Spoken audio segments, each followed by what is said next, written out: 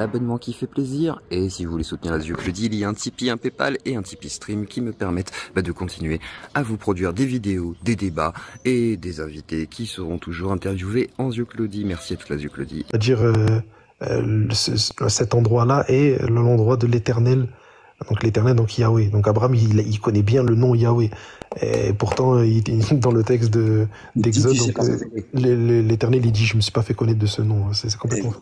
Exactement. Mais Yahvé et Baal, il y a une correspondance entre les deux. Et quand tu regardes que, par exemple, David, euh, David, attends, David, il appelle son fils Saul, il appelle son fils Meribal. Euh, Réa, dans un chronique, il appelle son fils Baal. Yoel, il appelle son fils Baal. Yéel, il appelle son fils Baal. Euh, un autre David, il appelle son fils Baliada dans 1 Chronique 14. Ils, avaient le culte de Baal qui était associé à Yahvé. Yahvé, c'était Baal pour eux. Non, même, même l'Éternel, il dit Tu seras plus mon Baal. D'ailleurs, ça, c'est vrai, ça. Exactement, tu vois. On te remercie pour ton intervention. Barakallah, ok, Arrête, euh, Islamo, je voulais juste faire ces petits euh, trucs parce ouais, que j'ai récupéré... Barakallah, fait que... Barakallah, fait que... plaisir de les faire, salam. Salam. Salam. Salut. Salut Salut frère juif Comment vas-tu? Oh là là, oh, frère juif, putain, j'ai pas le même nez que toi, frérot. Salut Harry Très bien mon nez, t'as problème Je vais te l'enfoncer dans le. Oh, hein, tu vas voir, ça va faire mal. Hein. Énorme ah, Bonjour. Attendez, attendez, excusez-moi, excusez-moi, les frères et les sœurs, il y a une juive. Enfin, ah. de Clos, toi, je sais que toi, tu es là, tu as le temps devant toi. Je sais que bah, c'est juste, j'avais une question. C'est pourquoi cette question Genre, pourquoi tu es juif En fait, tu es juif par descendance à 90%, je pense, voire 95%. Donc, euh, c'est, je trouve ça La question est étonnante, mais je laisse la parole à une vraie juive, justement. Voilà, Bonjour, euh, je me présente, euh, Jessica, la juive. Bonjour. Bonjour. La pauvre. Allez, fais jouer. Toi, tu es juive. Bah oui, euh, je, voilà, on nous décrit de jeu comme juive, donc euh, je suis la juive. Ok, très bien.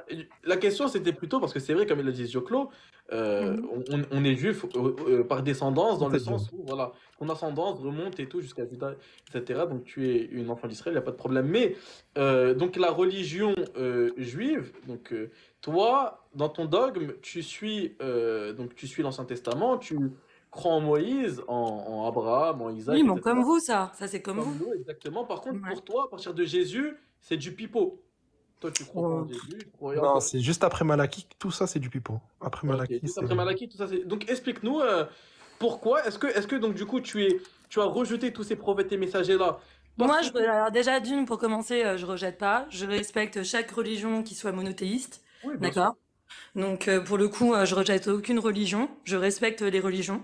Non, quand il dit rejette, c'est dans le sens tu n'y crois pas, quoi. Oui, tu n'y crois pas, c'est pas dans le sens tu manques de respect, c'est toi pour toi. Non, bah déjà, euh, déjà, non, c'est pas que je n'y crois pas, mais en fait, moi, j'ai envie de plus vous poser euh, la question parce que moi, je suis juive, pas de naissance, comme l'a dit euh, Zio, Zio euh, moi, je suis juive de naissance, donc je me suis jamais posé la question euh, pourquoi je suis brune, pourquoi bah toi t'es t'as de la barbe. Euh, voilà, genre moi je me suis jamais posé cette question. Mais moi, j'aimerais juste que vous me posiez, enfin que vous me répondiez à cette question. Qu'est-ce qui ferait de, enfin qu'est-ce qui ferait l'islam dans mon quotidien en plus que ma judaïcité? Parce que les prophètes, on a les mêmes prophètes, parce que vous respectez les mêmes prophètes.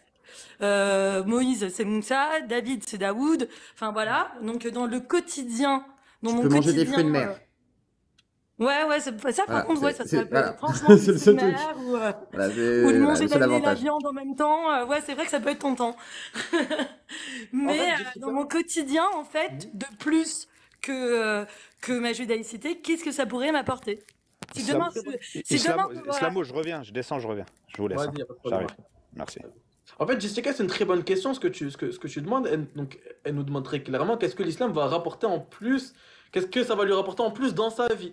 Moi, dans ma, vie de, dans ma vie de tous les jours, plus que ma judaïcité, en fait. Alors, alors tu sais que, euh, bon, tu dois le savoir, tu es juive. Euh, les bénis Israël, ils posaient énormément de questions à leurs prophètes. ouais. ils posaient énormément de questions à leurs prophètes, ce qui a fait qu'il y a eu énormément d'interdictions, d'obligations, etc. dans le judaïsme. Par exemple, chez toi, enfin, vu que tu es juif, quand c'est le jour du Shabbat, etc., tu peux pas tout faire, tu as énormément de restrictions. Oui, totalement. Déjà, l'islam, ça va être, voilà, on va t'enlever le fardeau que tu as sur les épaules à ce niveau-là. Euh, l'islam est venu aussi alléger la, la religion pour les croyants. D'accord? Donc pour les croyants, Dieu est venu alléger la religion pour ceux qui sont sincères et véridiques. Mais moi, en fait, ce que je suis en train de te dire, c'est au niveau de ta croyance. Toi, tu es juif, que tu sois juif d'ascendance, ça, c'est, ça, bien sûr, tu n'y peux rien. Et t'as pas à te poser la question pourquoi quand même? Exactement, c'est pour ça que quand j'ai vu ta, ton sujet du live, je me suis dit, c'est comme si maintenant je me, je me regarde dans une glace, pourquoi je suis brune aujourd'hui, tu vois? Pourquoi t'es arabe, Islamo Bobo? Bien sûr, ça va de soi. Mais en fait, ce que je suis en train. La, question, c'est plus, pour ceux qui, qui l'auraient compris dans, dans, dans le chat, c'est plus au niveau de la croyance.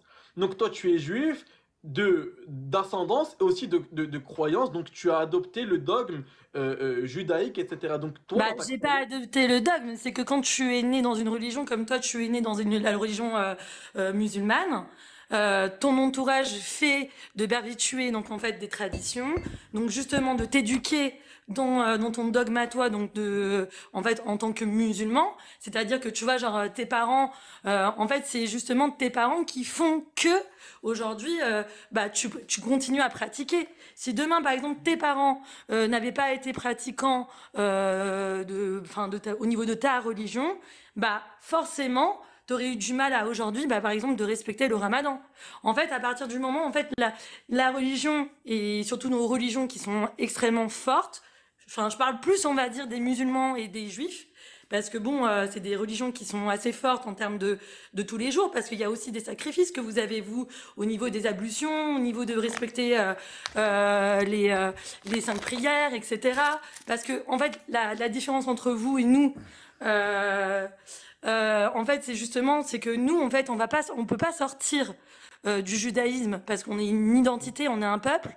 Et vous, en fait, j'ai, enfin, après, je peux me tromper parce que je connais pas bien votre religion et je voudrais pas et je veux pas vous vexer sur euh, mais bon je vais je vais parler comme je parle euh, mais je peux me tromper hein. si, si, je me trompe n'hésitez pas à me le dire euh, c'est que vous en fait si vous rentrez pas dans des dans des certains critères euh, si vous faites pas autant de euh, vos ablutions, etc., bah, vous n'êtes pas considérés comme des musulmans. Tandis que nous, en fait, on peut manger du non, pas du tout, pas du tout, pas du tout. Ah, ok, donc je préfère.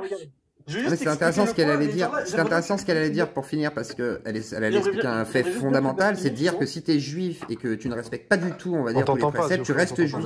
Ah, vous m'entendez pas Ah, petit problème de son. Ok, attends. Bah, je reviens. C'est moi qui l'entends pas reviens. Ou... Non, c'est. C'est pas. Ouais. Attends, attends. Mais regarde, en fait, Jessica, regarde. Euh, en fait, ouais. tu comprends. Tac, ça, bizarre. En fait, ouais. tu propos, écoute ce que je vais te dire, Inch'Allah, tu comprends. Ce que je suis en train de te dire, c'est quoi, euh, Jessica? C'est que toi, tu es descendant juif, il n'y a pas de problème. Mais dans ta croyance, tu crois pas en Jésus. Et tu crois pas mais, ça, mais en fait, mais vous. Alors attends deux secondes. Mais non, mais attends, mais Jessica, regarde, je te laisse parler pendant 15 minutes. Euh, quand quelqu'un te parle, écoute-le s'il te plaît. Comme ça, tu comprends ses propos. Tu vois, avec tout le respect que je te dois. Hein. Mais quand quelqu'un te parle, écoute-le. Et toi, quand tu parles, on va t'écouter. C'est le niveau zéro du, du respect. Regarde. Donc, ce que je suis en train de te dire, Jessica, c'est quoi? C'est que toi, dans ta croyance, tu crois que Jésus, c'est pas, c'est pas un prophète, que Mohammed, c'est pas un prophète, etc. Combien même tu respectes les chrétiens, les musulmans, il n'y a pas de problème. Ensuite, tu nous dis, oui, mais parce que t'as grandi comme cela. Que tu sois né juif, d'ascendance juive, ça, ça va de soi, t'as même pas à te poser la question, c'est comme ça, c'est comme ça. Par contre, ta croyance, si, il faut se poser la question. Parce que, imaginons, tes parents, tes ancêtres, adoraient quelque chose de faux. Imagine tes parents, tes ancêtres sont dans l'erreur. Eh bien, faut bien que tu corriges cela. Dieu dans le Coran nous dit quoi dans le sens du verset? Et lorsqu'on les appelle à la vérité, ils disent Nous suivons la religion de nos ancêtres. Est-ce que même si, on, même si vos ancêtres adoraient le diable, vous allez les suivre dans le sens? Donc en fait, exactement. Et c'est pour ça que moi, lorsque tu dis, comme tu m'as cité comme exemple, tu as dit Regarde, toi par exemple, tu es musulman parce que tes parents, c'est faux. Mes parents sont musulmans. Y a pas de problème. Moi, j'étais pas musulman. Comment ça, pas musulman Moi, je suis musulman depuis 2016. Mais si par exemple, si tu viens de me dire que tes parents sont musulmans. Bien sûr, mais sauf qu'en fait, euh, comme on dit, euh, il faut forger pour être forgeron. C'est pas la religion. Faut pas le prendre comme un héritage, comme on prend de l'or et de l'argent. La religion, c'est ta destination finale. C'est le paradis ou l'enfer. Ça veut dire que, je vais donner un exemple. Jessica, est-ce que tu es mariée? Euh, Divorcée. Divorcée, d'accord. Imaginons, tu as, un copain ou tu as un mari et tu vas vers lui, et vu que tu l'aimes, tu veux lui montrer ton amour, d'accord? Tu lui mhm. dis, bon, pour lui faire plaisir, pour lui pour, pour concrétiser entre guillemets l'amour que j'ai vers lui, je vais lui offrir un cadeau. Je vais lui acheter une boîte de chocolat noir, par exemple. Toi, tu arrives vers lui, mais il déteste le chocolat noir. Est-ce qu'il va accepter ton cadeau ou pas? Il va pas l'accepter parce qu'il déteste cela. Eh bien, Dieu, c'est pareil. Dieu, tu l'aimes. Mais quand tu montres ton amour à Dieu, est-ce que c'est ce que Dieu il veut que tu fasses? Comment toi tu le fais? Pas forcément. C'est pour ça que Dieu nous a envoyé des prophètes et des messagers avec des législations. Parce qu'il faut comprendre une chose. Quand un prophète y vient, c'est pour deux choses. Première chose, d'accord, pour vous dire d'adorer un Dieu unique, d'accord, qu'il existe un Dieu unique créateur des cieux et de la terre et qu'il faut l'adorer. Mais la mhm. deuxième chose qui est fondamentale, le prophète il vient pour t'enseigner comment l'adorer. Donc si toi tu l'adores de la mauvaise manière, Jessica, ton Dieu, eh bien Dieu ne va pas l'accepter. Donc c'est pour ça la question que je pose, c'est pour quelle raison tu as adopté la croyance judaïque? Est-ce que c'est juste par héritage? Et ça par contre, si c'est cela, faudra se remettre en question parce que peut-être que tes ancêtres étaient dans... J'ai bien dit peut-être pour pas t'agresser et je te laisse une... Non mais euh, moi je vais te dire quelque chose, moi en fait tu, tu m'agresses pas du tout et personnellement j'ai une... Euh, enfin voilà, je suis en parfaite harmonie avec euh, ma religion. Donc il y a, y a, pas de personnellement, j'ai pas de faille.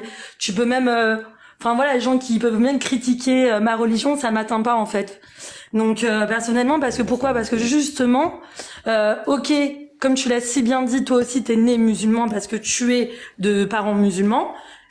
Mais mais euh, que personnellement tu as dit euh, que toi depuis 2006 tu t'es mis euh, tu tu as été musulman parce que tu as pu à mon avis faire connaissance avec tes bouquins enfin avec ta croyance etc personnellement avec la Torah avec l'évangile avec le Coran. Tu dis mais moi ce que je veux te dire en fait ce que je vais je veux te poser la question c'est pas parce que euh, nous pour nous euh, Jésus c'est du pipeau ou, euh, ou l'islam c'est du pipeau parce que pourquoi? Parce que ça n'a pas parce que dans nos livres bah vous n'existez pas que euh, ça va nous changer quoi que ce soit. En fait est-ce que de croire en Jésus de croire en prophète vous change quelque chose dans votre vie au quotidien? Non. Moi ce qui me change en fait c'est ma foi D'accord? C'est donc justement, oui, les restrictions bah, de manger cachard, vous mangez halal, de pas manger de porc, vous mangez pas de porc, euh, enfin de faire des prières, on en fait aussi. On sait que pour une juive, on sait que pour un juif, le musulman, il va au paradis parce qu'il respecte les. Mais nous aussi, on a un paradis. Le Olam Abba, c'est quoi? Hmm. Le Olam Abba, c'est quoi en fait? Donc en fait, c'est pour ça que je me pose, je pose la question, euh, Islamo Bobo. C'est le quoi? Le Olam Abba. C'est quoi ça? Le monde prochain.